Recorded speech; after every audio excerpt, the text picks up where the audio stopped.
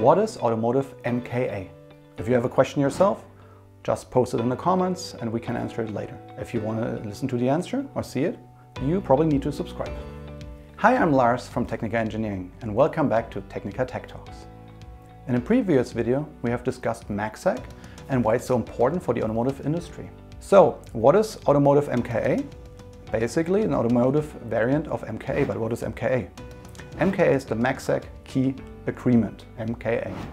So that is the protocol that uh, takes care of getting the keys for MACsec. For all security protocols, you need to get keys to uh, calculate the crypto on, and they have to be fresh. So the key agreement protocol basically does that at the beginning as a startup.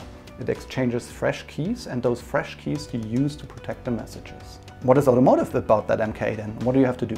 So if you look at the regular MACsec based MKA, you will see that in the standard you see uh, certain things that are not really automotive compatible. One big example is that the timeout or the time it can take in the worst case is set to 8 seconds. So on the protocol design and the timeout behavior of the protocol, 8 seconds is a long time. For the IT industry that's totally fine. However, on automotive, you don't want to start up your car and the rear view camera doesn't work for 8 seconds and the doors don't unlock for 8 seconds. We all know that's not acceptable. So in our research and our development, we worked on the MKA protocol to make it faster. Our target was 30 milliseconds for the overall MKA protocol. And I'm very glad to tell you that we did that. So in our implementation, you can do the key exchange in not 8 seconds, worst case, but 30 milliseconds. So that's the first thing you need to do. But there are small things you have to figure out for uh, automotive usage of and MKA.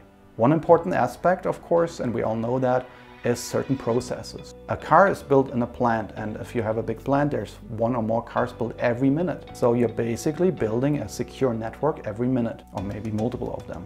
In IT industry network what you would do is then install keys to certain things manually. In a car plant that is not possible. So we have to figure out on how to assemble the car based on all those electronic control units and install everything needed for MACsec in the plant. And then at the same time, you also need to make that happen in service, right? You're replacing an ECU, but how do you do that?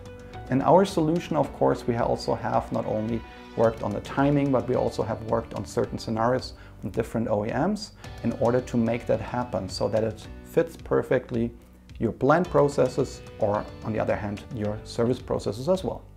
So if you are interested in further information about how to make MKA automotive capable or short automotive MKA, we have a link below which you can go to. We have further information. You can look at that and what kind of things we did. There's some slides as well from a previous presentation.